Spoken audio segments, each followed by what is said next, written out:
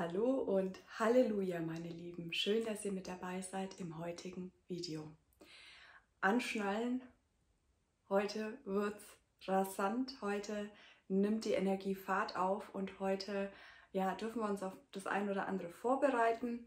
Ihr wisst ja vielleicht, ich bin ein Mensch, ich liebe es, im Hier und Jetzt zu leben. Ja, das ist auch was, was wir wirklich lernen dürfen, nicht mehr so viel Prognosen, Zukunftsvisionen und so uns anzuschauen, sondern auch wirklich im Hier und Jetzt leben und im Hier und Jetzt Schöpfer sein. Und das können wir aber manchmal auch ganz gut, wenn wir wissen, was uns erwartet, wo die Reise hingeht. Ne, das ist ja auch schön, wenn man irgendwo einsteigt und weiß, so, ich fliege jetzt nach Thailand, dann kann ich mein Köfferchen packen, dann mache ich da ein Bikini rein, ein bisschen Sommerkleider und weiß, wenn ich in Thailand ankomme, ich bin vorbereitet. Ja, wenn ich nicht weiß, wo die Reise hingeht, dann packe ich alles ein, vielleicht auch Winterschuhe und dann denke ich mir, ja, die hätte ich ja nicht gebraucht. Ja? Und es geht jetzt darum, den Koffer für diese Reise zu packen.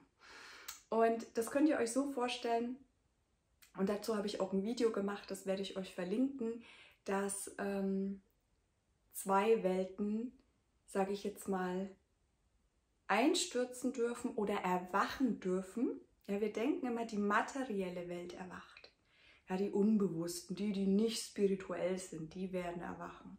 Und wir Spirituellen fühlen uns immer so gut vorbereitet, weil wir sind ja schon erwacht. Nur der Punkt ist, dass sich materielle Welt und spirituelle Welt vereinen dürfen.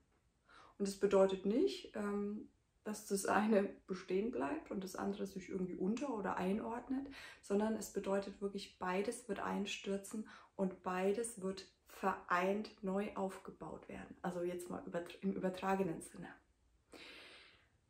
Ähm, weil auch in der spirituellen Welt so eine Art Scheinwelt aufgebaut wurde. Ja? Und ich meine es nicht, also ich sage das jetzt nicht, um jemanden ähm, schlecht zu machen oder so. Ja, ich, ich erzähle einfach, was ich an Impulsen reinbekomme.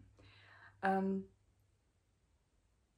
und jeder darf das mit seinem eigenen Gefühl abstimmen. Ja, also das ist immer wichtig, auch alles zu akzeptieren, wie es in der Vergangenheit war oder wie es aktuell ist. Alles annehmen und lieben, um dann aber zu wissen, wo der Trend, die Veränderung hingeht. Und es ist so, dass wir Menschen ähm, immer wieder so die gleichen Dramen durchleben. Ja, wir auch über dieses Leben hinaus. Ja, wir sind so gewohnt, das sind Menschen, die sagen uns, was zu tun ist, das sind unsere Führer. Und dann ähm, denken wir, wir sind in so einer Sicherheit. Ja? Wir wiegen uns in einer falschen Sicherheit, weil wir jemanden haben, der uns Kraft von außen gibt und Zuversicht. Und das darf sich aber ändern, weil unsere Seelen möchten die Erfahrung machen, dass sie sich selber führen. Ja, und deswegen kommt jetzt auch eine neue Form der Führerschaft in die Welt, die helfen, Menschen in ihre Kraft zu führen und sie dann loslassen und selber durchs Leben gehen lassen und sich selber führen lassen. Das sind die Führer der Zukunft. Und in der Vergangenheit haben sich viele so festgeklammert an ihren Schülern oder Klienten, ja, wie auch immer man es, oder Patienten, wie auch immer man es nennen möchte, und wollten die gar nicht so loslassen. Weil sie nicht wirklich selber mit der Seele verbunden waren oder in der Selbstliebe.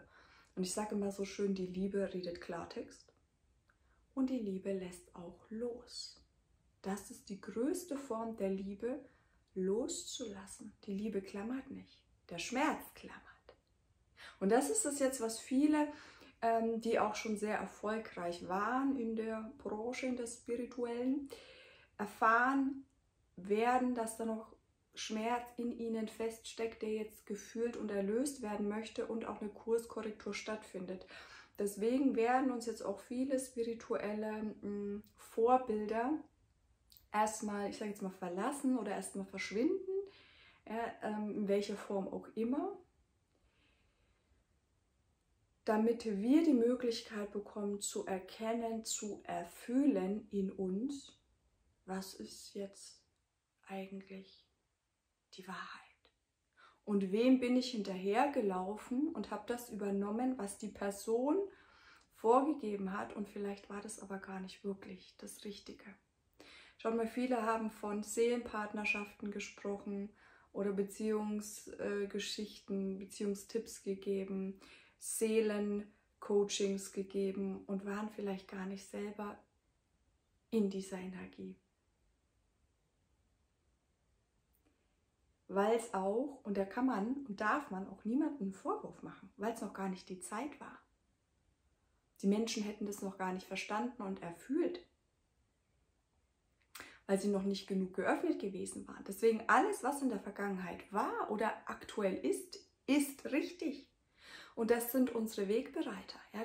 Diese Menschen haben andere für die Spiritualität geöffnet. Sowohl schon mal im Herzen, in der Seele als auch im Geiste. Nur jetzt dürfen wir das Ganze so ein bisschen ähm, ableveln, sage ich jetzt mal. Und da gibt es eben die ein oder andere Veränderung. Und wichtig ist für euch, dass ihr erkennt, was ist eure Lernaufgabe. Eure Lernaufgabe ist, nicht den Halt im Außen zu suchen. Eure Lernaufgabe ist zu erkennen, ich bin mein Führer, meine Seele führt mich.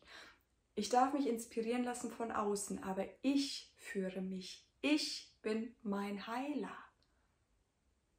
Ich lass mich inspirieren, dass ich meine Antwort im Innen finde. Ihr seid alle einzigartig. Ihr braucht auch keine Zertifikate irgendwo, um dann zu sagen, hier, da und da war ich, das kann ich jetzt alles. Ja, das ist alles aus dem Ego. Die Seele braucht kein Zertifikat. Ja, wo sind wir denn? ja, also da haben wir in der Vergangenheit auch wir Spirituellen häufig unser Ego pampern lassen und nicht falsch verstehen. Ausbildungen, Fortbildungen sind per se niemals schlecht, aber sie sollten euch immer mit eurer inneren Führung verbinden. Und vieles davon sind einfach Tools, also Krücken, die wir in Zukunft nicht mehr brauchen, weil wir lernen dürfen zu laufen. Ja? Also erstmal die Krücken wegwerfen und laufen lernen. Das möchte die Seele, weil die kann laufen. Und da hatte ich es auch, ich habe gestern dazu schon auch was auf, auf Instagram gesagt und auch ähm, zum Thema Channeling der Zukunft.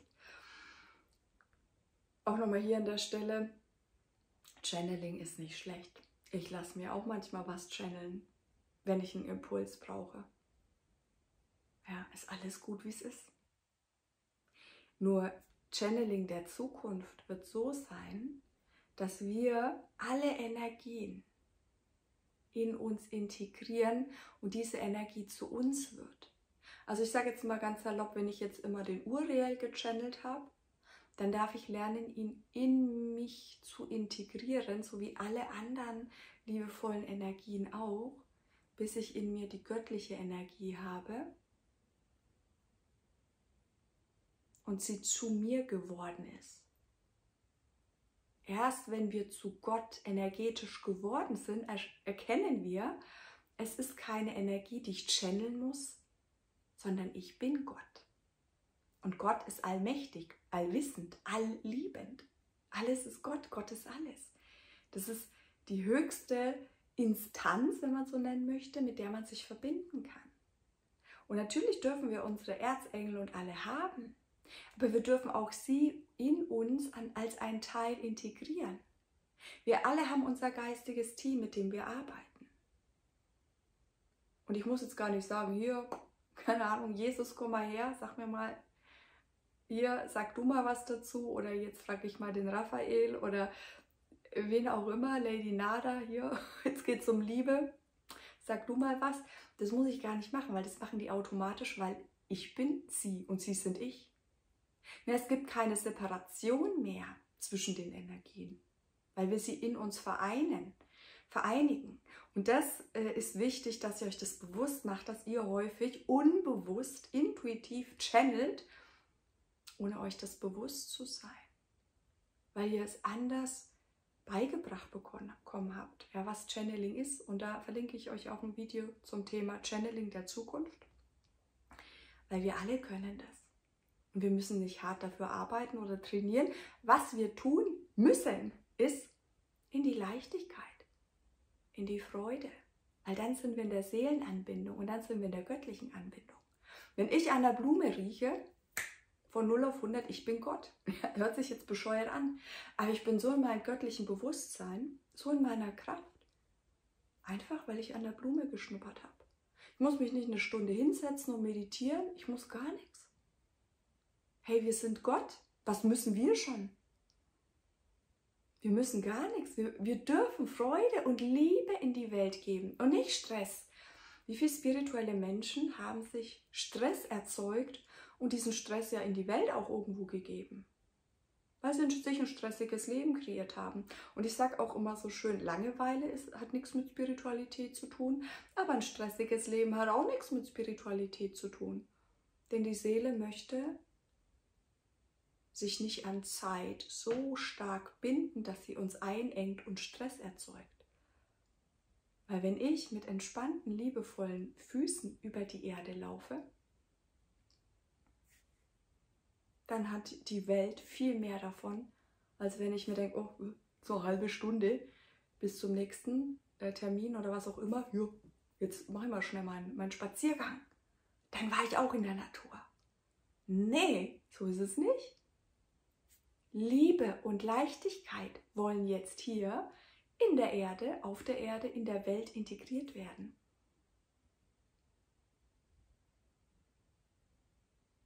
Dafür ist es jetzt an der Zeit. Kein Stress mehr, kein, oh, ich bin wichtig, die Welt braucht mich. Kein Mensch braucht mich und irgendwie doch alle. Wisst ihr, was ich meine? Aber ohne Stress, ohne Zwang.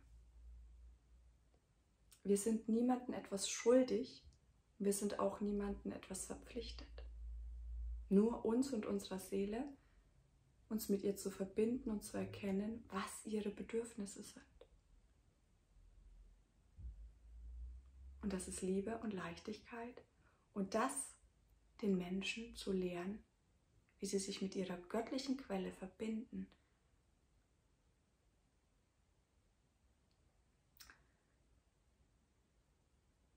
Und das ist genau der Punkt, wenn wir wirklich wieder zu den Gottmenschen werden wollen, die wir in der Seele sind, ist es wichtig, das zu erkennen,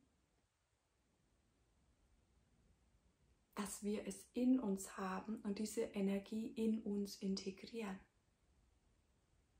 Alle Energien dürfen zu einem Teil von uns werden und dann sind wir ganze Menschen. Und wir dürfen jetzt fühlen und erfahren, was reine göttliche Liebe ist. Gott wird nicht sagen, wenn du sagst, lieber Gott, bitte heil mich. Wird er nicht sagen, oh Gott, ja, du armes Kindchen, ich heil dich. Er wird sagen, heil dich selber. Weil die Liebe redet Klartext. Und dann wirst du den Impuls haben, ach, Stimmt. Ich bitte jemanden, der außerhalb von mir ist, um Heilung, aber wenn ich ihn in mir integriere, dann mache ich es einfach selber.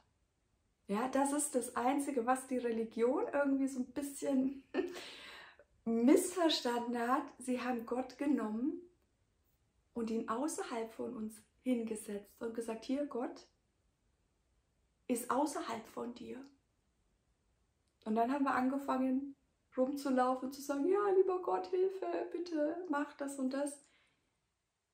Nee, einfach machen, weil du bist Gott.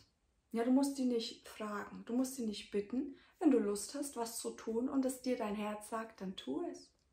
Dann werden dir Wege gezeigt, Menschen geschickt, die dich auf deinem Weg unterstützen. Und wenn es im Sinne deiner Seele ist, wird es auch sofort erfüllt. Also hört auf zu betteln, hört auf euch unterzuordnen und erkennt, was Liebe wirklich ist. Liebe ist kein Schmerz. Alles, was weh tut, ist keine Liebe, sondern eine Abhängigkeit und alter Schmerz, der noch in uns feststeckt. Ja, deswegen kann ich das auch manchmal mit so einer, ich sage jetzt mal Neutralität sagen, weil ich nicht mehr mit diesem Schmerzkörper verbunden bin. Ja, also ich, ich, ich spüre mich ja auch ins kollektive Feld ein, deswegen hatte ich auch als letztes Video das ähm, Thema Selbstmord, ja, weil ich gespürt habe, das ist jetzt kollektiv irgendwo im Feld. Aber ich spüre das nicht mehr negativ. Ich weiß, da ist das Thema und ich gehe auf das Thema ein und möchte Menschen in dem Prozess unterstützen aber ich muss nicht diesen Schmerz ähm, als was Schmerzhaftes fühlen. Ja, ich, ich spüre das mit so einer Neutralität. Ja, und das, das ist äh, was, was man ähm, verstehen oder lernen darf, wenn wir den Schmerz in uns erlöst haben. Ja, und es soll nicht heißen, dass bei mir nicht auch mal nochmal was hochkommt. Ja, also wer weiß, wo da noch was steckt, ist ja alles möglich. Aber wenn wir es aus der göttlichen Perspektive sehen, sind wir nicht mehr mit dem Schmerzkörper so verstrickt, ja, und dann haben wir so eine, dann haben wir das erlöst. Ja, dann können wir uns auch Bilder von Ex-Freunden oder Freundinnen anschauen und dass die neuen Beziehungen sind und denken uns, oh ja, schön, herzlichen Glückwunsch. Ich freue mich, dass du wieder glücklich bist, auch ohne mich. Ja, das ist wirkliche Liebe, sich und den anderen zu vergeben und es aus einer höheren Perspektive, aus der Perspektive der Liebe zu sehen. Und zu erkennen, ja, wenn der andere eine neue hat oder einen neuen, dann weißt du, es war alles richtig, wie es ist. Und auch du wirst lieben und geliebt werden, aber nochmal auf einem anderen Level, als du dir jetzt vorstellen kannst. Weil Liebe ist kein Schmerz, Liebe ist keine Abhängigkeit und Liebe bedeutet nicht, sich zu krücken und dem anderen das zu geben, was ihm fehlt. Liebe bedeutet, dem anderen zu helfen, das in sich zu finden, was er bei dir sucht. Wenn es, sagen wir mal, ist Kochen. Ja, wenn der Partner sagt, ich kann nicht kochen, wenn ich dich nicht hätte, würde ich verhungern.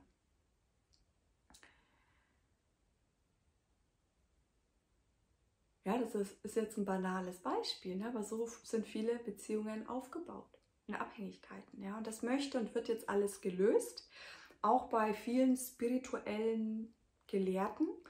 Und dann wird es halt auch nochmal, ich sag mal so schön rumpeln in der Kiste. Und dann kommt alter Schmerz hoch, dann wird auch vielleicht das eine oder andere in Frage gestellt, was man in der Vergangenheit gemacht hat, was aber nicht richtig ist. Das, ist, das erkennt man auch wieder, das ist das Ego, was dann denkt, oh Gott, was kann ich überhaupt? Ne? Und fühlt man sich als kleines Würstchen und dann beginnt die Frage, wer bin ich eigentlich und was braucht meine Seele? Und dann davon lernen, sich mit der Seele zu verbinden. Und das ist es eben, was jetzt vielen bevorsteht, die Erkenntnis, hey, Vielleicht war gar nicht so viel Seelenanbindung in der Vergangenheit dabei. Vielleicht war auch ein bisschen Ego. Und es war aber alles gut, wie es war. Weil man nur so tief in die Menschen eindringen kann, wie sie geöffnet sind. Weil die Liebe, die reißt keine Herzen auf. So. Ich meine, klar, ich sage schon immer, ihr Glücksbärchen, so, also ich meine, ich reiß mein Herzchen auf, aber was ihr mit eurem macht, das ist euch überlassen den einen oder anderen, der wird sich vielleicht inspiriert fühlen. Ja, der andere, der, der schon geöffnet ist, sagt, uh, ja, schön, her damit. Ja, her mit der Liebe und hier Liebe zurück. Ist ja immer ein Austausch. Aber das liegt nicht in unserer Macht. Ja, das, es darf jeder seinen Mund öffnen, um zu essen, und es darf jeder sein Herz öffnen, um zu fühlen. Auch erstmal den Schmerz. Auch erstmal alte Wut. Ne, weil ich sage auch immer so schön, Liebe ist kein Gesäusel. Wir denken immer, Liebe ist nur dieses Ich bin Liebe und ich bin immer Liebe und ich bin immer entspannt. Die Liebe hat Antrieb, die Liebe hat Pfeffer. Die Liebe braucht die positiv genutzte Wut, um was in die Welt zu gebären. Das ist aber keine Wut, die andere verurteilt oder abwertet oder bewertet. Ne? Das ist eine Wut, die wir mit unserer Herzenskraft kombinieren. Das ist dann unsere Leidenschaft, die Sexualität, die Kreativität, der Antrieb. Das ist was Wunderschönes. Das macht uns zu ganzen Menschen, die fühlen und die auch in der Lage sind, echte Emotionen zu haben und die auch in der Lage sind, authentisch zu sein die auch mal sagen können, boah, heute habe ich einen richtigen Festtag. Wir müssen nicht nach Perfektion streben, in keinerlei Hinsicht, weder optisch noch im Leben. Wonach wir streben dürfen, ist mehr und mehr authentisch zu sein, ehrlich zu sein, liebevoll zu sein, göttlich zu sein. Und nochmal der Hinweis, wenn du das nächste Mal vielleicht Gott oder wen auch immer anflehst und sagst, bitte, bitte, bitte, dann wird Gott einfach lachen und sagen, du bist ich, ich bin du. Warum bettelst du mich an? Tu es, du hast die Kraft. Verbinde dich mit dieser Kraft. Wenn du dich heilen möchtest, dann tu es. Wenn du dein Leben verändern möchtest, tu es. Und auch wenn du jetzt keinen Ausweg siehst, weil du in deinem Drama bist, in deinem Opfersein, wird sich der Ausweg zeigen, wenn du dich dafür öffnest, dass du alle Werkzeuge in dir hast. Ja, und deswegen, das, was wir jetzt machen, ja, wir packen alle unser Köfferchen und bereiten uns auf das eine oder andere vor.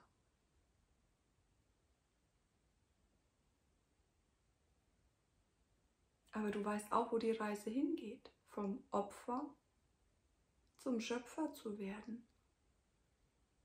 Dieses Opfer-Täter-Denken ist vorbei. Es gibt keine schlechten, es gibt keine guten, die separiert sind. Wir vereinen sie in uns und werden dann zu Gott und Gott bewertet nicht. Und das ist es, was wir in unsere Köpfe reinbekommen dürfen.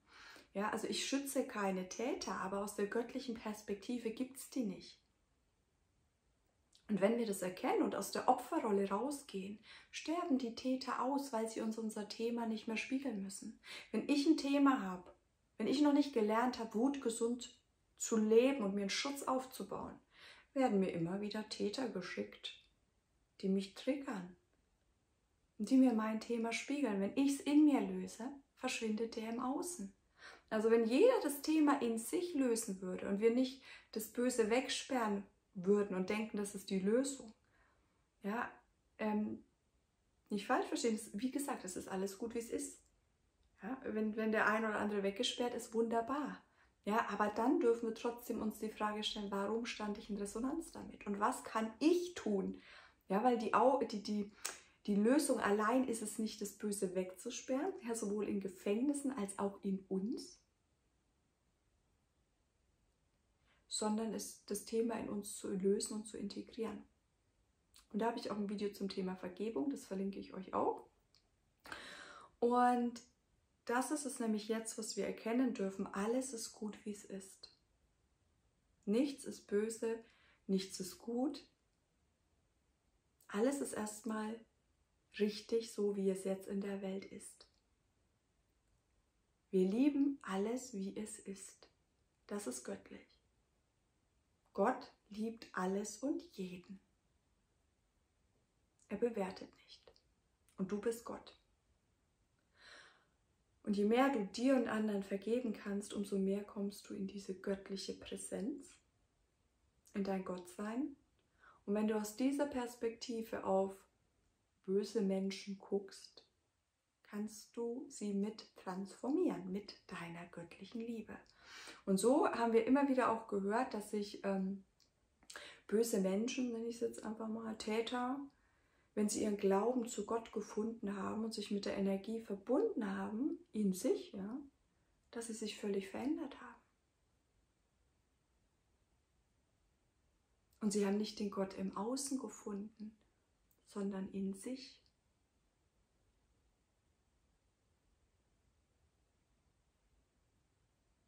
Und auch dieser Prozess steht jetzt vielen bevor, weil sie in der ersten Hälfte ihres Lebens der Böse sein wollten, um zu erkennen, ah okay, ja, integriere ich in mir und jetzt möchte ich zur göttlichen Liebe. Und wenn ich mit meinem Gottesbewusstsein verbunden bin, dann tue ich ja keinem mehr weh, weil dann würde ich ja mir selber wehtun. Ich bin nicht bescheuert oder was? Weil wir sind ja alle eins.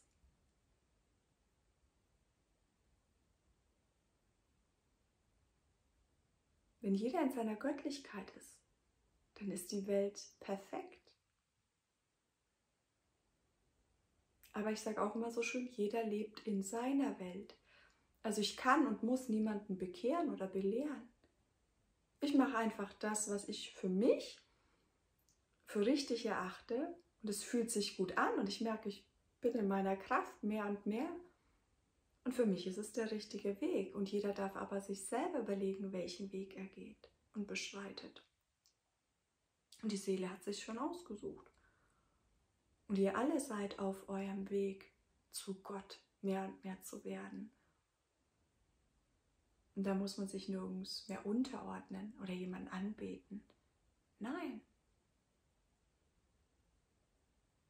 Weil wir alle auf einer Ebene sind. Wir sind alle Gott. Sind alle Liebe. Und mit dieser göttlichen Liebe, mit unserer Seelenliebe, dürfen wir uns jetzt mehr und mehr verbinden. Und das passiert eben dann, wenn wir uns erstmal entbinden von Menschen, Situationen, die uns noch gebunden halten, die uns vielleicht krücken und die uns ähm, ja, ein Pflaster sind. Und wenn wir das Pflaster abreißen, kommt der alte Schmerz, aber dann kommt auch die Liebe. Und das kann ich euch allen versichern. Je mehr ihr den Schmerz gefühlt habt und loslasst und euch nicht mehr damit identifiziert, und euch verbindet mit euch, eurem Körper, euren Bedürfnissen, der Natur, umso mehr werdet ihr sie fühlen. Diese Kraft aus euch, die Liebe, die auch mal Grenzen setzt, die auch mal Menschen sagt, ich will dich nicht in meinem Leben haben. Die spürt, wer tut mir gut, was tut mir gut aber es auch nicht bewertet. Ja? Wenn ich jetzt spüre, keine Ahnung, mir tut ähm, Käse nicht gut, dann esse ich keinen Käse. Aber ich habe nichts gegen den Käse. Ja? Wenn ich jetzt spüre, Kichererbsen tun mir nicht gut, dann esse ich keine Kichererbsen. Aber ich habe nichts gegen Kichererbsen, weil die sind nicht schlecht. Ja, das ist Liebe. Alles darf sein. Du musst es nicht bekämpfen, aber Du darfst für dich fühlen, wen oder was du aufnehmen möchtest an Information. Nicht nur Nahrung ist Information, auch Menschen ist Information.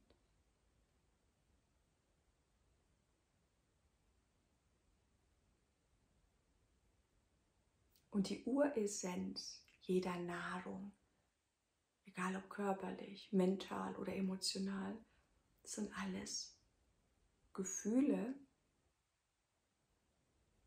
Und die wichtigste Essenz ist die Liebe. Die Liebe können wir überall reinpacken, in die Nahrung, in uns Menschen. Ja, dann sind wir wandelnde Liebeskugeln.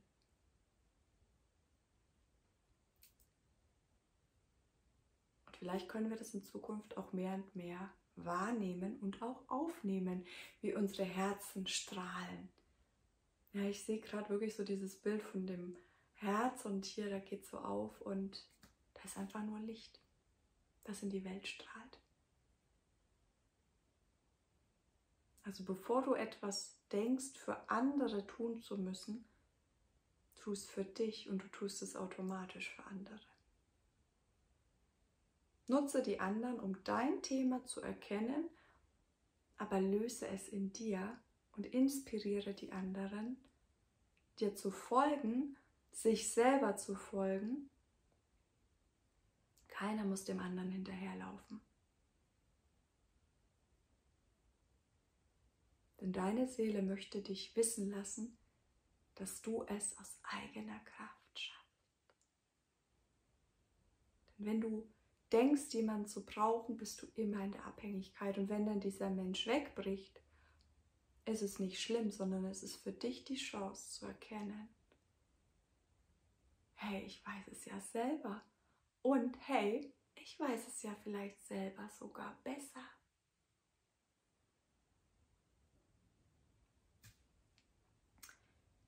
Das war die Botschaft für heute, meine Lieben.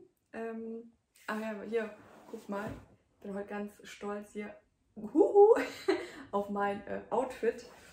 Also ich bin hier wirklich ähm,